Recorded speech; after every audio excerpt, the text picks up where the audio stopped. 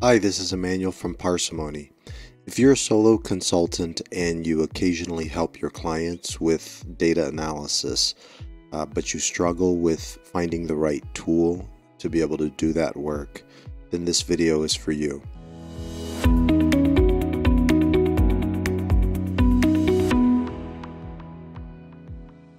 If you already know a lot about, or even a little about, a free program called R that's used by many for statistics and data analysis, um, and you just want to learn a little bit more about how to use R um, for your specific needs, then this video is not for you, but be sure to subscribe because I'll be creating R tutorials that go through how to do various things in R. What this video will do is provide you with a conceptual understanding of what R is and why I and many other people use it for data analysis and statistics. Now, I use R for all of my projects because um, people hire me for quantitative services. So, most of the time, clients hire me to take their data and answer questions that they have. And usually that culminates in some sort of report, either a PDF or Word document. Occasionally, people will have me create some sort of like API for them where they're sending data to a program that I created and it's spitting out results. Now, when I first came across R, I was in grad school and I took a lot of courses in statistics, but most of the time I used a program called SPSS, which is a very popular program among people in the social sciences. And that's what I did virtually all my work in. And at the time, people that I respected suggested that I look into using this program called R that I had just learned about then. So I downloaded R and I opened it up, and this is what I saw on my screen. Um, it was really weird to me. Uh, it was basically just a clear screen with some text here, and I didn't know what to do with that. I just stared at it for a while. I looked at some of these buttons up here, um, clicked on them. It didn't really, these didn't make sense to me. Um, you know, I went in here and I started just typing in random stuff, and it just spat back errors. Uh, so I didn't know what was going on, and I got pretty frustrated, and I just decided to close it and just ignore it for a while. And um, I didn't go back to using R again. And the reason I was confused by R is because it didn't really give me much to work with. Uh, this is in stark contrast to SPSS, which um, has a much better user interface. You know, I could go up and click on Analyze to conduct an analysis. Uh, or um, transform to transform the data and clean the data. And instead, R was really just plain. Um, you have to do a lot more of the heavy lifting in terms of uh, telling R what you want it to do. It's a, it's a programming language, so you have to write out all of your instructions. And at the time, I just thought that that was ridiculous. Why would I make myself go through all that work to um, clean data and perform the necessary analysis and create tables and charts and that sort of thing.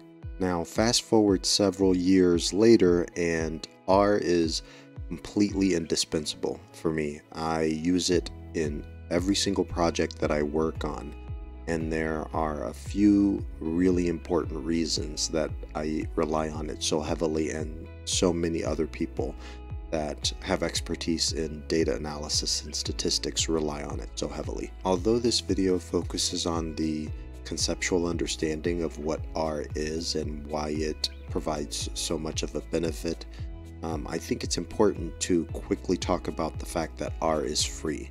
So, I mentioned before that I heavily relied on SPSS, and a lot of people that come from a social science background um, have experience using SPSS and they often got SPSS for free or very cheap while in school. But once they leave school, they realize that it's quite expensive. As of the time of this recording in November of 2021, you go on SPSS website, um, you'll see that there are uh, different tiers for subscriptions, and they have it priced out by whether or not you're getting the base package and then adding on other functionality. Um, and of course, with that additional functionality, the price increases. But um, you know, it can range from $100 a month per user uh, up. And that $100 per month will really only get you some basic functionality in terms of statistical analysis. In contrast, R is scalable. Um, it, you can install various packages that have been created by other users um, to allow you to do very complex statistical analyses um, and a whole host of, you know, uh, creation of graphs, um, uh, tables, generating Word documents. I mean, it's an ever expanding list of functionality that you can execute in R. To provide the conceptual understanding of what R is, I want to use this analogy.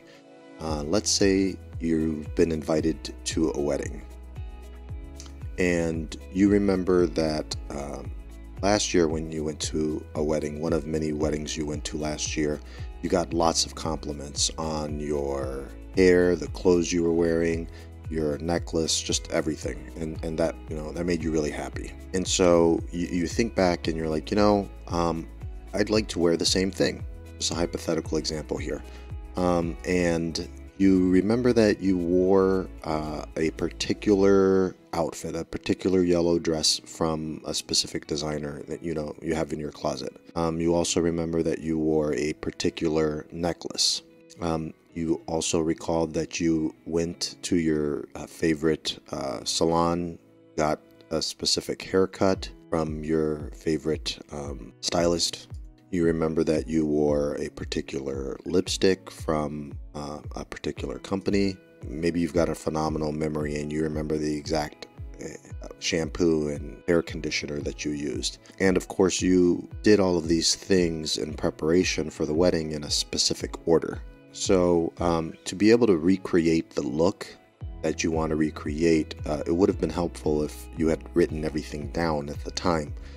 And that might sound silly, but what if you knew that if you had written all of the steps, uh, you know, each of the things that you wore in the detail that you wore them in, what if after you had written all of that, you knew that in the future you could simply uh, you know that you could create a button that you could press and all of that would happen within seconds. You'd be ready for the wedding in the exact way that you wrote down within seconds. And that's essentially one of the main benefits that i see in r and why i use it. Um, uh, now i'll give you a more concrete example of this uh, using myself. So let's say, you know, I wake up in the morning and I am not ready at all, obviously, for the wedding. Um, you know, I may have my glasses on, but I that, that's it. I just woke up. And we will call that version of me Dirty Me.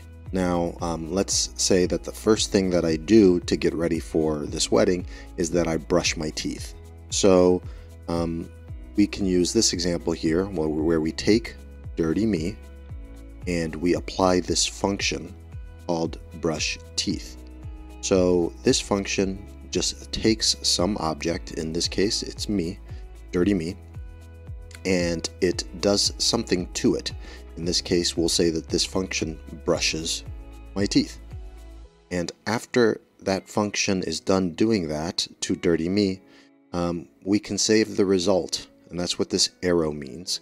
We'll save the result and we'll give that new version of me a name and we will call it dirty me with clean teeth just trying to be very explicit here about these steps. And so let's say the next thing we need to do or i need to do is get myself a haircut. And so i'll use this function called haircut. And this function called haircut will cut the hair of the object in here which is the version of me that we named here dirty me with clean teeth. And after applying that haircut function, um, we'll save the result which will then be nice hair. I will call it nice hair, but still dirty me. So this version of me has already had my teeth brushed, right? That was done here.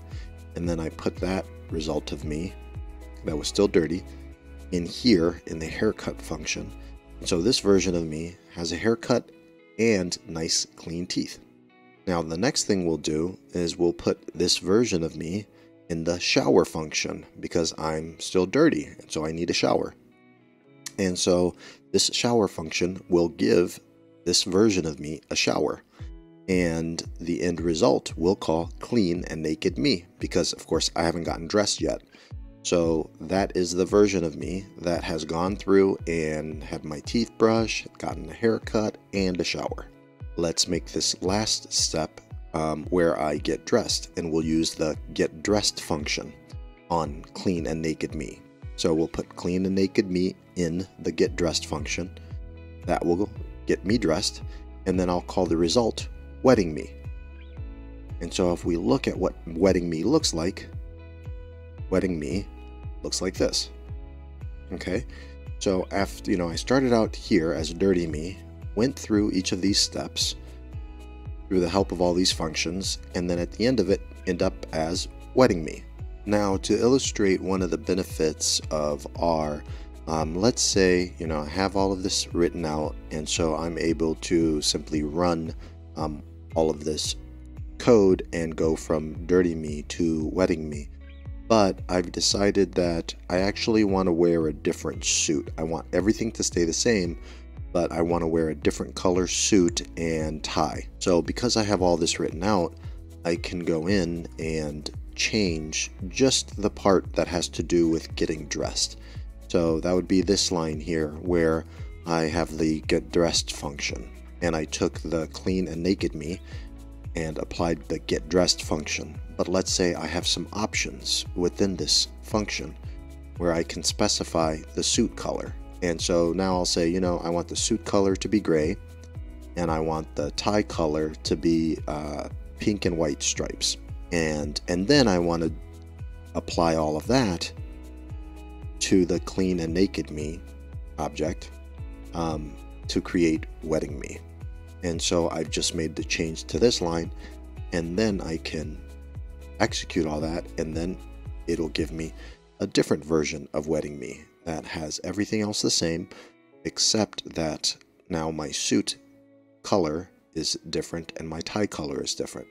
That's one of the important benefits of R is that you can go back and make a change to one or multiple steps while retaining everything else and you still have that added benefit of being able to repeat everything and do so very quickly in the future. Now, R won't um, give you a shower or cut your hair, you know, or brush your teeth, but uh, it does have a tremendous amount of functions and um, tools to be able to uh, manipulate data, perform analyses, um, calculate statistics, and do all of that. So now let's use a more realistic example for what R is and how you can use it. So instead of the dirty me, let's say you have dirty survey data and you're helping a client analyze the survey data. So you might take a data set that you have in Excel and put it into R and then call it dirty survey data. And, you know, one of the steps you could have is that you could filter the rows so that maybe you only want to look at data in the dirty survey data um, where the city is Minneapolis, where the respondent said that they live in Minneapolis. And so you use this filter function, which does just that. It filters just the rows that you care about. You apply that to the dirty survey data, and then you tell it on what columns or variables you want to filter and what the condition is. So here we're saying filter the dirty survey data by the Q4 city column um, such that you're only keeping the rows where Q4 city is equal to Minneapolis. So um, once you apply the filtering of this data set um, that is called dirty survey data, such that you are keeping only the rows where the respondent said Minneapolis for the city question. We'll take that result and call that Minneapolis only survey data. And let's say the next step you want is to um, select certain columns. So you don't care about all of the columns for one particular analysis you're going to do. Let's say you only care about gender and ethnicity um, because you want to create a table um, so that you can show the client uh, what that distribution looked like by gender and ethnicity for those people that responded to the survey. And so you take the um, Minneapolis only survey data and you use the select function to just select certain columns and you specify which columns you want to select. So you're going to select just the Q2 gender column, the Q3 ethnicity column. And then you'll save that smaller data set, which now is filtered for only rows where the respondent said they live in Minneapolis uh, for the Q4 city question and you're only looking at the gender and ethnicity questions or the responses to those questions. Saving that reduced data set and you're calling that Minneapolis demo data. And then let's say the last step you have for this particular small example is to create a table of gender and ethnicity. And you can do that using this table function. Um, so you take the Minneapolis demo data, which only includes gender and ethnicity columns for respondents who said that they were in Minneapolis. And so you create a table and call that Minneapolis demo table. And if you take a look at it, it might look like this, where Minneapolis demo table is a table of gender and ethnicity. And so after doing something like this in R, you have uh, effectively automated the process of creating a table of ethnicity and gender for your data set. Now, if your client did this survey on a regular basis, maybe once a year, and they want you to put together a report, and one of those things that you put in the report is a table of gender and ethnicity, having code like this would allow you to run that code in the future with the new data set and have the same results, you know, with updated data in the matter of seconds. And you could see how this could be beneficial because as your code gets longer and longer and you're doing a lot of different things, you're creating charts using code, you're creating tables using code, etc., you're able to automate the entire analysis and report writing potentially.